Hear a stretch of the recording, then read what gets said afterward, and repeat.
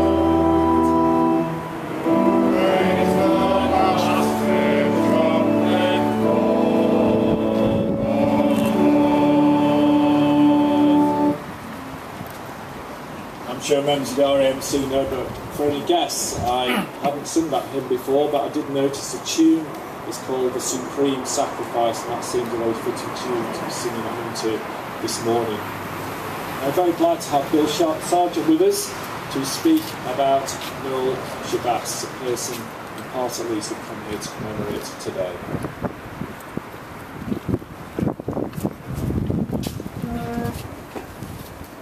Born in Oxford in 1884, Chavasse came to live in Liverpool in 1900 when his father was appointed bishop.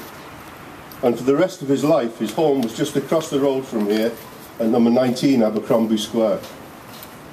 He was educated at Liverpool College, Oxford University and Liverpool University, qualifying as a doctor and working at the Royal Southern Hospital, which itself is not far from here, specialising in orthopaedics.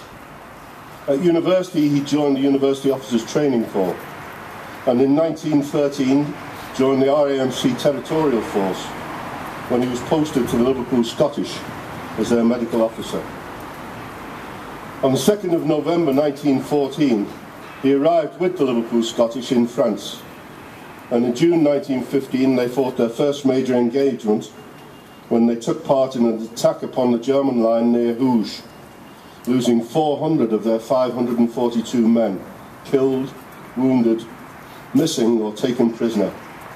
For his work tending the wounded in this battle, Chavasse was awarded a military cross. On the 8th 9th of August 1916, as part of the 55th West Lancashire Division's attack on German frontline positions near the village of Guillemont, they again sustained many casualties. Chavasse's courage in treating the wounded was recognised by the award of a Victoria Cross, for which the citation says, During an attack, he tended the wounded in the open all day, under heavy fire, and frequently in view of the enemy. During the ensuing night, he searched for wounded on the ground in front of the enemy's lines for four hours. Next day, he took one stretcher bearer to the advanced trenches and, under heavy fire, carried an urgent case for 500 yards into safety, being wounded in the side during the journey. That same night, he took a party of trusty volunteers, rescued three wounded men from a shell hole only 25 yards from the enemy's trench, buried the bodies of two officers, and collected many identity discs, although fired on by bombs and machine guns. Altogether, he saved the lives of some 20 badly wounded men, besides the ordinary cases which passed through his hands. His courage and self-sacrifice were beyond price. On 31st of July 1917, during the Third Battle of Ypres, also known as Passchendaele, the Liverpool Scottish, as part again of 55th Division, were ordered to attack the village of Guillemont. Early in the attack, Chavasse was wounded in the head, but carried on. The 55th Division took their objectives at a heavy cost, and Chavasse set up a regimental first aid post in the captured German dugout. On the 2nd of August, he was again shot in the head, but refused treatment. On the 2nd of August, a German shell landed in the first aid post, while Chavasse was resting with the wounded. It exploded, and all inside were killed or wounded. Chavasse sustaining a serious abdominal wound. Yet he managed to crawl out to seek help for his colleagues. He was taken to 46 Field Ambulance, commanded by another RAMC officer, Lieutenant Colonel Arthur Martin Leake, VC and Bar, then the only man to have been awarded two Victoria Crosses. Martin Leake realised the severity of Chavasse's wound and had him rushed to number 32 casualty clearing station nearby. But he died on 4th of August 1917, aged almost 33 years. He was awarded a bar to his Victoria Cross. Note, you'll forgive me if I read it, not the official citation, but the version of it which appears in the Liverpool Scottish history compiled by Major McGilchrist says Captain Noel Godfrey Chavasse, while carrying a wounded man to his dressing station early on 31st of July, was himself severely wounded on the right side of the head. The other officers implored him to go back and have his wound attended, but he refused. The next day he was again hit, this time on the left side of the head. Still he insisted on carrying out his duties. He repeatedly went out with stretcher parties to the firing line in search of wounded, and to dress the wounds of those lying out. And he personally assisted in carrying in under heavy fire a number of badly wounded men. Though suffering intense pain, he continued for two days to attend to casualties, and during this time had no rest and very little food. At last, on the morning of 2nd August, as he was with the wounded, a shell pitched right into his dressing station, and he received a terrible wound in the body and died on 4th of August. I finish with a, a further quotation from the same book. There never was a man who was better loved by officers and men alike. There never was a man who gave himself more unsparingly in the service of others. His bravery was not of the reckless or flamboyant type, but the far finer bravery that sprang from his determination that nothing should stand in the way of whatever he considered his duty. More than once he was offered the less dangerous work at a casualty clearing station or field hospital to which his long service as a regimental medical officer entitled him. But he preferred to be with the men he knew and admired. The award of two Victoria Crosses was the official recognition of his work.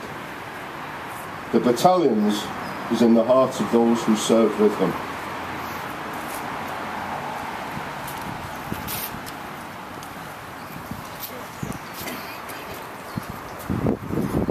Let us commemorate and commend to the loving mercy of our Heavenly Father, the Shepherd of souls, the giver of life everlasting, those who have died in the service of our country and its cause.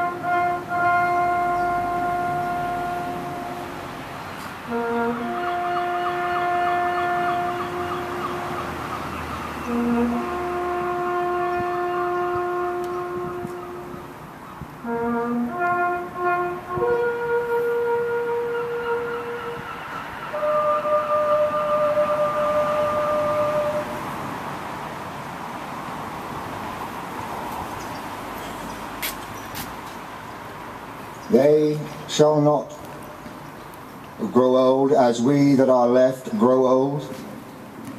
Age shall not weary them, nor the years condemn. At the going down of the sun and in the morning, we will remember them. We will.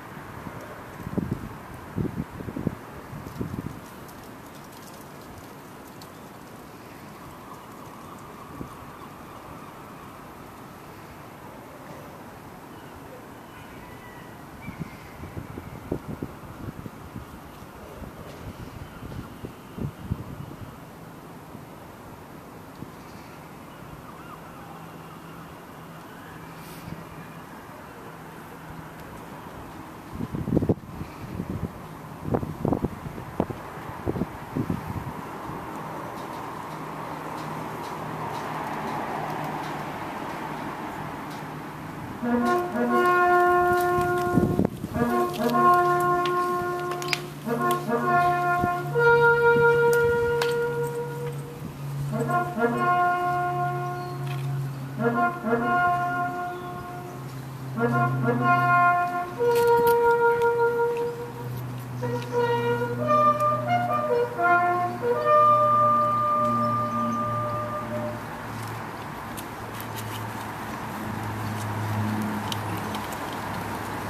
we sing the last verse of our hymn, the reeds will be placed.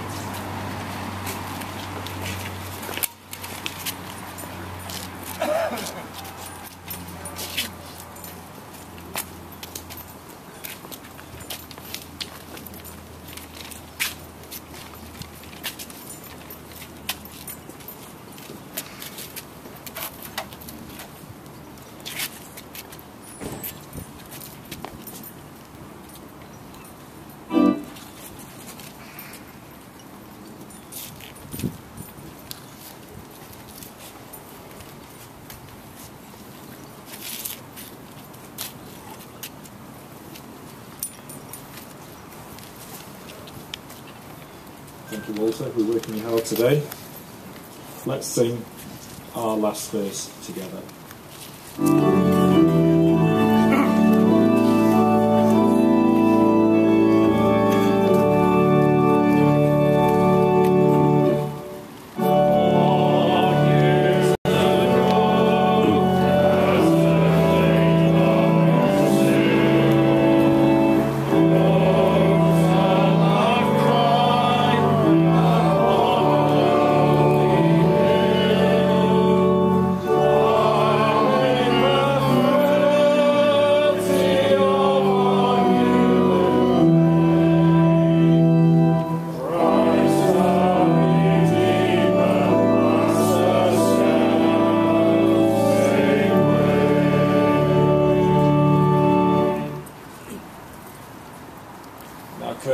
3rd of the 208, Liverpool Field Hospital will lead us in our collect.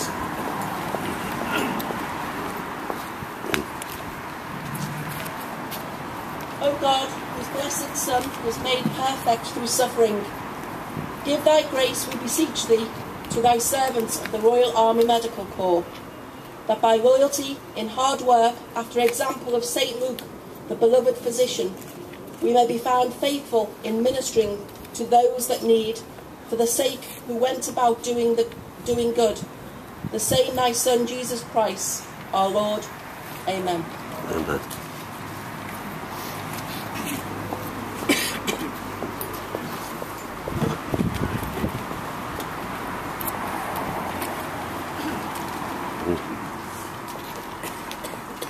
When you go home, tell them of us, for your tomorrow we gave out today.